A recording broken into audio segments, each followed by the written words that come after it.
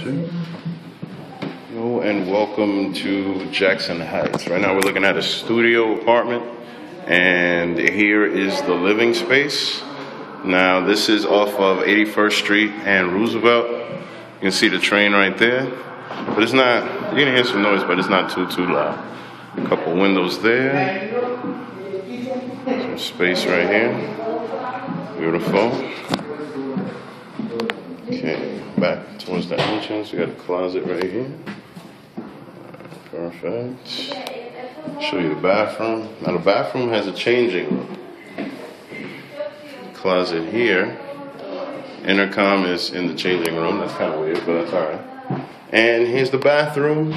It's pretty clean. Um, somewhat superstar lights, but that's all right. all right, here's the bathroom. Very nice, very clean. Okay. And last but not least, is the kitchen. Separate kitchen, which is always great. You got little space here for a two-seater. You got lots of cabinets here, big counter space. Nice little stove by the window, which is always great. Perfect. All right, guys, you want to see this in person? Don't hesitate to call me. Take care.